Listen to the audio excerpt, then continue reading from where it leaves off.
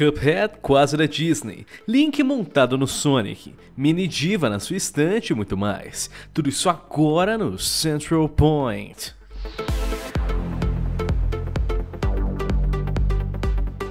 Titan Quest está para receber uma expansão, apesar dos muitos anos de lançamento, mas as novidades não param por aí, já que a THQ Nordic anunciou que está trabalhando na adaptação do jogo para os consoles. O jogo chega ao PlayStation 4 e ao Xbox One no dia 20 de março de 2018 e no Switch ainda não tem data. Mas não é só isso. Além da aventura habitual, ainda haverá DLC Immortal Throne e Ragnarok, multiplayer online para até 6 pessoas, gráficos remasterizados e uma edição de colecionador bem bacanuda trazendo um capacete espartano. Para os que se interessarem, a versão convencional irá custar 30 dólares, enquanto a especial será 120 doletas. E aí, bora treinar essas estratégias online?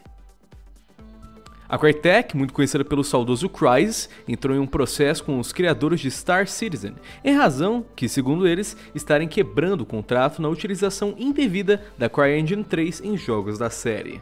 Os acusados são Cloud Imperium Games e Robert Space Industries, fundadores da Chris Roberts e da franquia Wing Commander. Ao que consta, os estúdios informaram que deixariam a CryEngine para utilizar a Lumberyard. Porém, o motor gráfico da Crytek ainda está sendo utilizado, parcialmente, mas ainda está.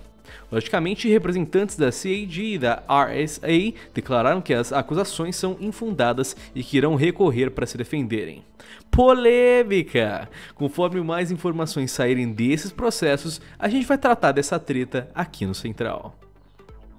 Sombras da Guerra ganhou uma DLC com muitas novidades. Apresentando a tribo marginal, a expansão irá incluir confrontos tribais com novas missões, novos temas da fortaleza, um conjunto de equipamentos lendários com desafios e upgrades adicionais, e Purge, com os capitães da tribo zanzando por Mordor fazendo emboscadas. E aí, tá sendo uma boa hora para voltar a zanzar por Mordor de novo, não é não? Saiu mais um podcast da Sony comentando sobre God of War, e agora a conversa foi particularmente sobre o propósito e origem de Leviathan, que é o machadinho mágico novinho que o carecão está utilizando.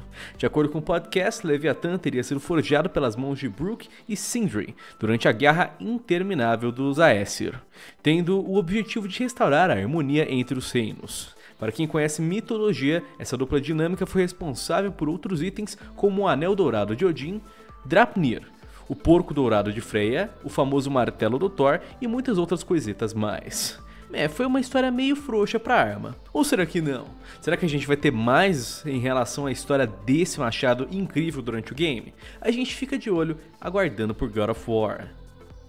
Não tenho que discutir, Cuphead foi um sucesso tremendo esse ano com suas animações clássicas feitas à mão no estilo da década de 30, que inclusive foi justamente premiada por tal, o que faz do estúdio um bom alvo para uma empresa que todo mundo conhece. Já pensou aqueles desenhos lindos protagonizados pelo camundongo mais famoso do mundo, o Mickey Mouse? Pois então, é uma possibilidade, já que Chad Moldenier, um dos irmãos criadores de Cuphead, revelou que a Disney entrou em contato com a equipe durante o desenvolvimento. Não que tenha tido algum tipo de encomenda ou pedido, foi apenas uma conversa amigável em fortalecer os laços. Com certeza já dá para esperar algo do estúdio como parcerias. Pode ser que demore um pouquinho, mas se o resultado for como o de Cuphead, eu acho que vai valer a pena. Achou que as loucuras em mods de Zelda tinham acabado? Tá só começando, meu amor. Sabemos que os criadores de mods são extremamente entusiasmados e um bocado criativos, mas agora uma barreira bem grande foi quebrada.